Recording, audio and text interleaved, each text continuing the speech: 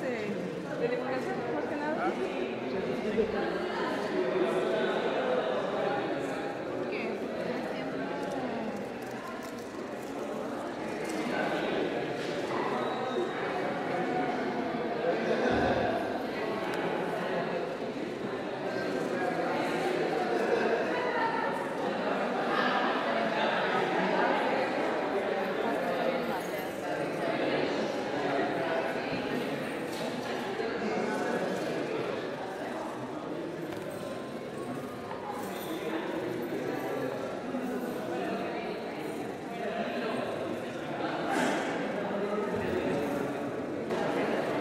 Pues acá estamos en, el segundo patio de lo que es la unidad de artes, un patio que compartimos con cuatro facultades, danza, música, teatro, artes plásticas, y un patio que originalmente esperamos que se volviera común. Un patio que se volvió eh, sede de la FILU, de la Feria Internacional del Libro Universitario durante tres años, por eso se techó. Y nos permitió entonces hacer otro sinnúmero de posibilidades, de cosas, de acciones, aunque lloviera, aunque hiciera mucho sol.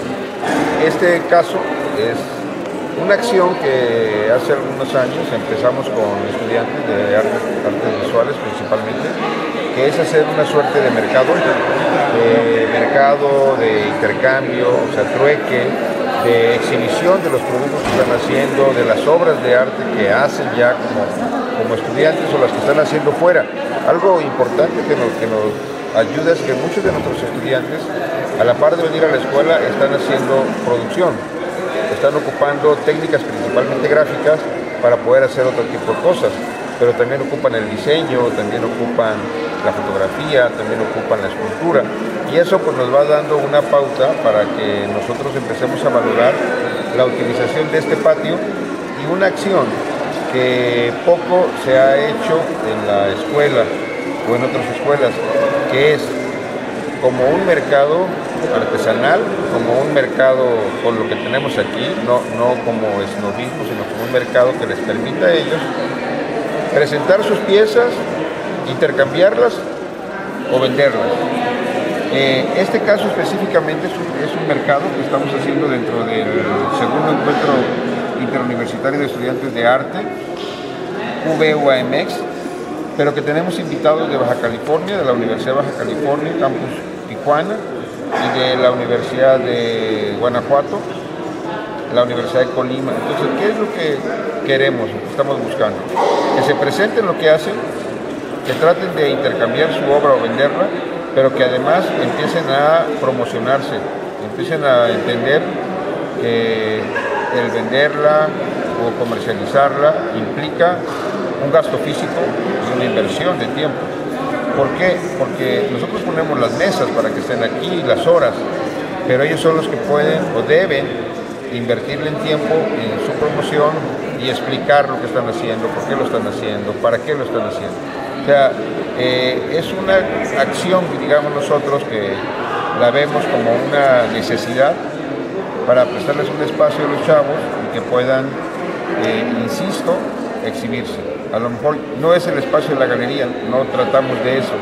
Tratamos de que aquí puedan entrar los estudiantes de música, de danza, de teatro, la gente que pudimos invitar, para que vean lo que están haciendo los estudiantes y a precios accesibles. Esto quiere decir, muchas veces el valor de la obra que están adquiriendo las gentes no es el valor real de la obra, sino queremos que los estudiantes también entiendan que no tenemos un mercado de obra de arte, que no hay un mercado en Jalapa y a veces en otros lugares.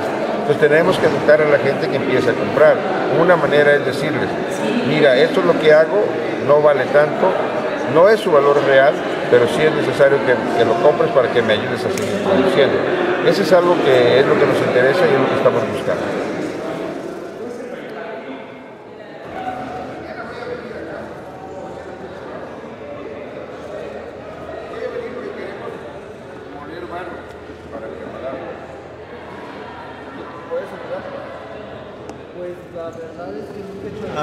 Bueno, pues mi nombre es Ramsés y este es mi trabajo. Y bueno, actualmente, ahorita nada más ando enseñando pues trabajo gráfico, pero pues también hago un poco de pintura en gran formato. Pues lo que hago pues es más que nada mancha expresiva en el cual se ve reflejado, según yo, el subconsciente y en el cual uno como espectador también puede pues visualizar su, propio subconsciente, ¿no? Entonces es como una obra que pretende ser reflexiva y pues en donde uno podría aprender un poco de ella, ¿no? También y de sí mismo a través de las manchas. Las manchas a la vez te traen a ti una figuración.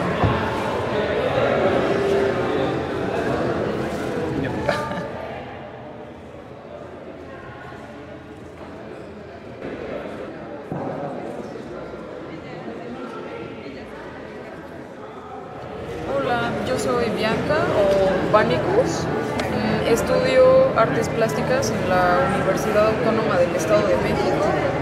Y bueno, pues mi obra gira en torno como a la cuestión del ser, lo que es la identidad. Y trato de explotarlo, bueno, sí, a partir como de mí, a través de los medios gráficos que abarcan desde la fotografía, el dibujo, el grabado. Y bueno, pues esta es como la obra que, que traigo. Hay serigrafía, cianotipia, fotografía, litografía. Y pues creo que es todo.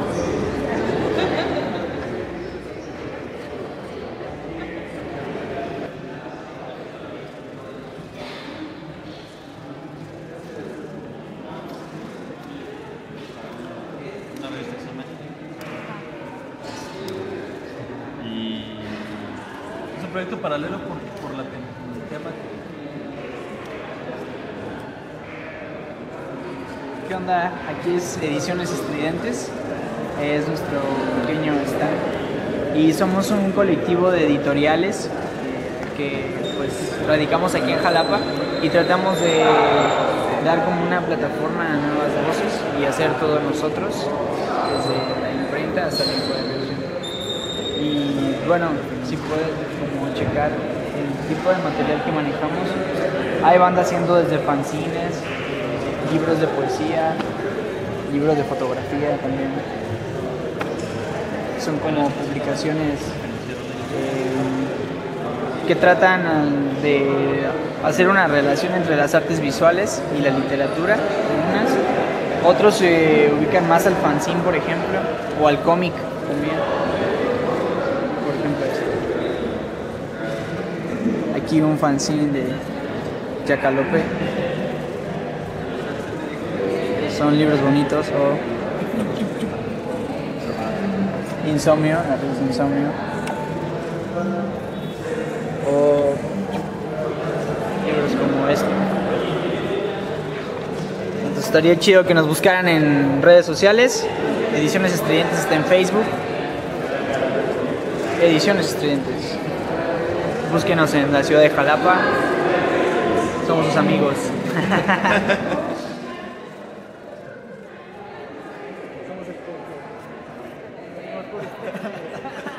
Bueno, pues yo soy Lili Beto Ochoa, me gusta más Emilia Vargas. Vengo de Colima y estoy de intercambio acá en Jalapa. Mi tirada es la gráfica y ahorita estoy experimentando con lo que puedes ver. Es monotipo. Quiero integrar la mancha a mis temas, usualmente son como cuestiones dolorosas o de la, o de la vacuidad, sobre el objeto de deseo, sobre estados de tristeza. No necesariamente todo lo que hago trata de plasmarlo tal cual, ¿no? También tengo como mi lado cómico, mi lado de la bonitura, rosita y todo esto. Entonces, sí me gusta mucho, me gustaría mucho también como inmergirme en esto de- del diseño independiente, del, del comercio alternativo y no tanto eh, de galerías y de exposiciones como de renombre en museos, sino más bien diseño que se pueda incrustar más fácilmente a las casas de las personas. Mucho de decoración.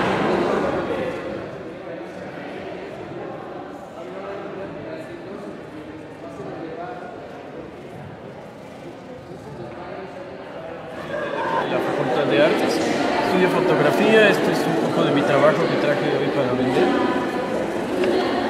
Este, hasta ahorita pues me gusta mucho trabajar la onda de laboratorio, todo lo que es este, pues como la fotografía análoga, aunque también tengo un poco de trabajo digital, lo que vendría siendo estas, estas fotos de aquí, lo que es color. Este, también tengo un poco de esta serie de aquí.